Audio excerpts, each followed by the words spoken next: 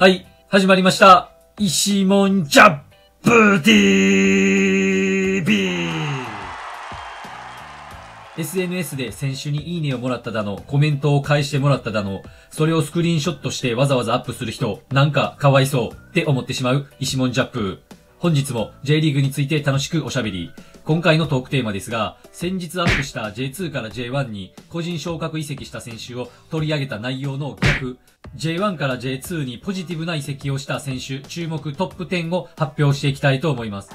J1 から J2 への移籍となるとネガティブなイメージがあるかもしれませんが、ここ近年の J2 はだんだんとレベルアップしており、活躍次第では J1 へ帰り咲くパターンも多く、また J1 昇格という明確な目標がある中でサッカーできることはサッカー選手としてやりがいを感じられると思います。ですので、そのやりがいと自信を取り返すということで、選手生命を引き伸ばすことにもつながりますので、カテゴリーを下げること自体は悪くない話かなと思います。それではまず、2021年シーズンの J1 から J2 への移籍傾向を簡単におさらいした後に、注目選手トップ10を発表していきます。では、2021年シーズンの J1 から J2 に移籍した選手一覧を表示します。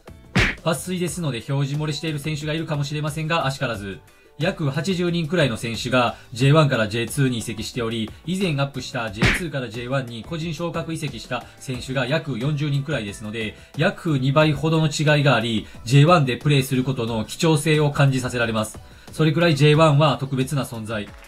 そしてこの図について簡単に見方を解説していきます。かなりごちゃごちゃしていて見づらいとは思うんですが、左右は全く同じ選手たちが乗っています。しかし並びを変えています。左側が移籍元の J1 のチーム別でまとめている図になっておりまして、右側が移籍先である J2 側のチーム別にまとめている図になります。こうやって見比べると、まず左側の移籍元である J1 側から今季ならではの特徴を語っていきたいと思います。まず J1 全18チームとどのチームからも J2 への移籍はあり、その中で大型補強を刊行している清水エスパルスと横浜 FC からは多くの放出がありました。そして J3 を舞台にしていたアンダー23での試合がなくなったガンバとセレッソの大阪の2チームからも多くの選手が移籍。特にセレッソ大阪の J2 へのレンタル移籍の多さが目立ちます。また特に大分や横浜 FC などはかつて J2 で活躍していた選手が J2 にカムバックする例が多く、他チームからもそういった例を多く見受けられ、全体的にも数を上げたらキリがないくらい、かつて J2 で活躍した選手のカムバックが多く見受けられます。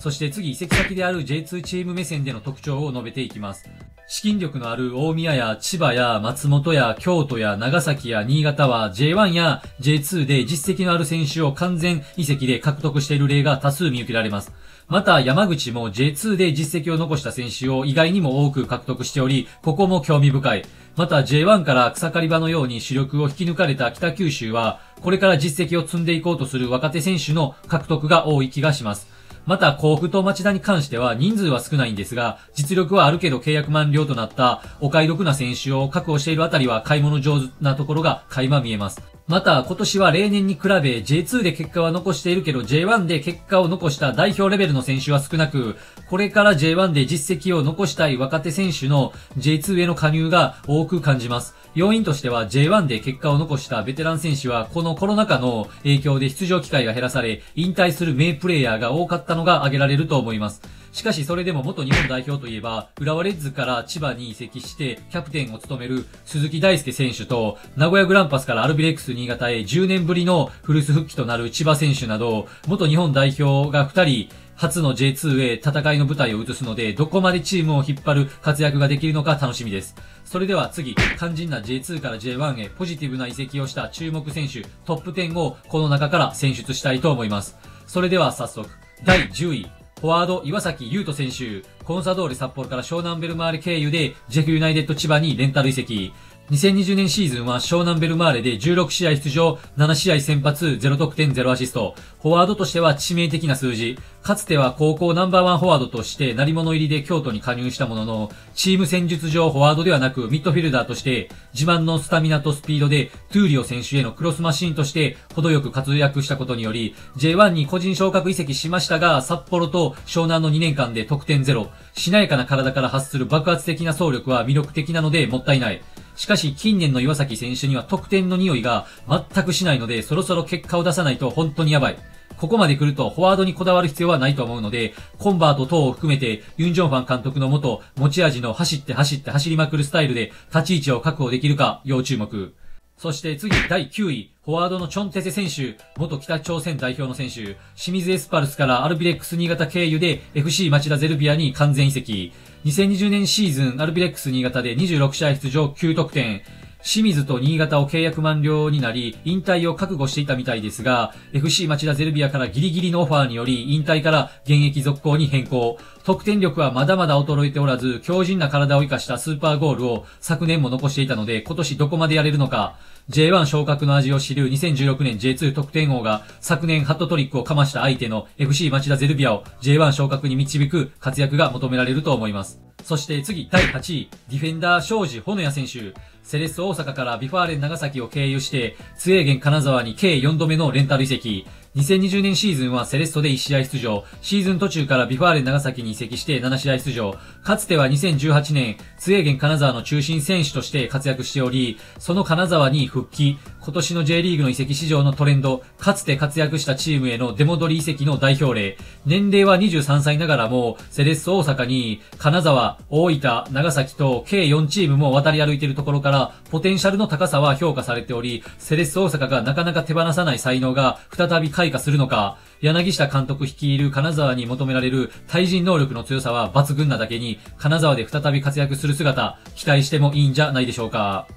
そして次、第7位。フォワードの川本リオ選手、清水エスパルスからファジアーノ岡山にレンタル移籍。2020年シーズンは6試合出場1得点。2019年は高校生ながらも2種登録で J リーグデビュー済みと才能は間違いなし。この選手は攻撃に関する能力は全て平均値以上。守備もしっかりするし、仕掛けることもできて、シュートもガンガン打つわで、強気な姿勢が見ていて気持ちいいフォワード、アタッカーとしてもプレーすることができ、岡山でどこで使われるのか、あのチョンテセ選手も一押しの選手が J2 の舞台で才能を開花させられるか、楽しみです。そして次、第6位、ミッドフィルダー白井康介選手、コンサドーレ札幌から京都産外 FC へ期限付き移籍。2020年シーズンは27試合出場8試合先発。この移籍は正直意外でした。J1 屈指のサイドアタッカー、ルーカス・フェルナンデス選手の存在がでかすぎました。じゃないと J2 には移籍してこないと思います。それくらいいい選手を京都は獲得したなという印象。そんな白井選手は右も左も両サイドできるサイドバックの選手で、走り抜かれたのがわかるくらいすごい太もも。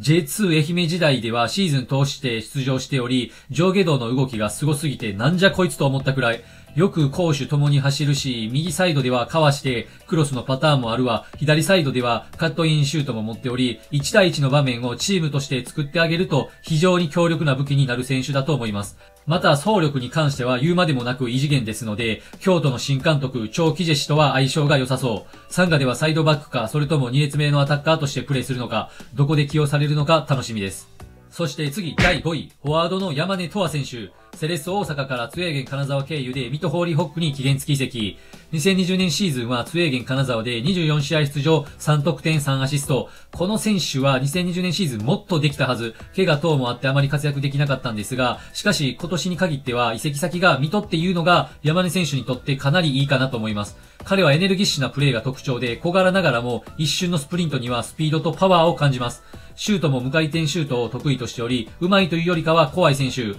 若手選手育成所の水戸で飛躍なるのか、毎年水戸から現れる若手の活躍するホープは、今シーズン彼のような気がしてならないです。そして次、第4位、ディフェンダー星京安選手。横浜 FC から松本山雅 FC に期限付き移籍。2020年シーズンは9試合出場、7試合先発。日本とコンゴ共和国とのハーフであり、戦う姿勢と身体能力を活かした高さとスピードが抜群なセンターバック。中学生からサッカーを始めたということもあり、荒削りではありますが、ポジショニングの良さとポゼッションを磨くことができれば、さらに飛躍する可能性を持っている伸びしろ抜群な選手。今シーズン出場機会を増やせれば、ポテンシャルはエグいので飛躍間違いなしだと思います。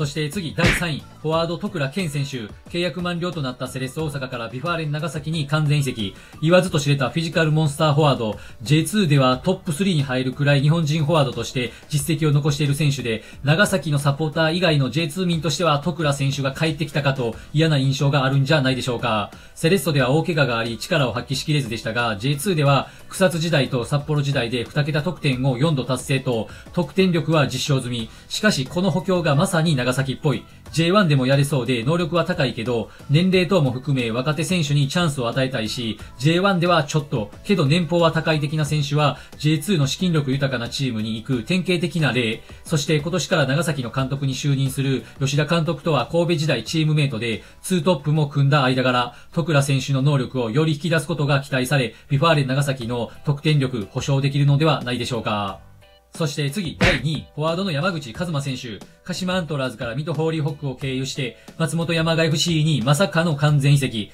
これはマジでびっくらこきました。なんでと衝撃を受けた J リーグファンの方は、私だけじゃないんじゃないでしょうか。この選手こそ2021年シーズンは絶対 J1 だと思っておりました。2020年シーズンは35試合出場、15得点、7アシスト。まずこの圧倒的な数字でしょう。2020年シーズン J2 で一番の得点力を誇った水戸の中心選手。うまさに加え、貪欲な姿勢が見ていて気持ちいい選手。J2 の本田圭佑と言っていいでしょう。プロフィール写真とサッカーしている時で顔つきが全然違う。自信に満ち溢れた顔。そんな彼を警戒していると他の選手が悪という好循環。一人で持ち運んで点を取れる選手なので、鹿島復帰はなくても、他の J1 チームくらいは個人昇格移籍すると思っていただけに、松本山雅 FC 相当金積んだなと見ております。松本山雅 FC の J1 昇格への本気度が見える大型補強の象徴。松本としても昨年の汚名を返上して、例年通り J2 では強い昇格争いに絡んでくる松本山雅 FC が見れるのか、その命運はこの山口選手にあると言っていいでしょう。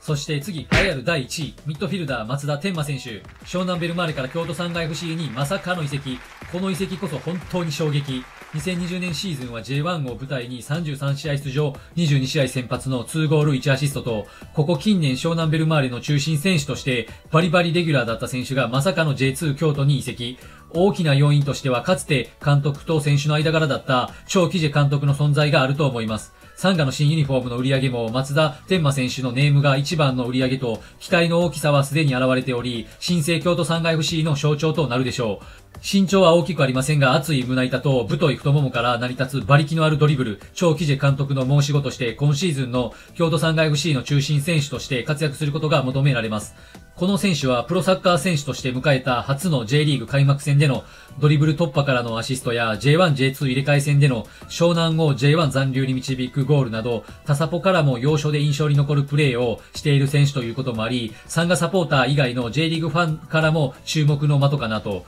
10年年以上も J2 の舞台に落ち着いてしまっている京都、J1 に導くことができるのか、この選手の活躍にかかっていると言っても過言ではありません。以上、J1 から J2 にポジティブな移籍をした選手、注目トップ10でした。ここまでご視聴していただきありがとうございました。チャンネル登録、評価、コメントしていただけると嬉しく思います。また次回の動画でお会いしましょう。石門ジャップ TV でした。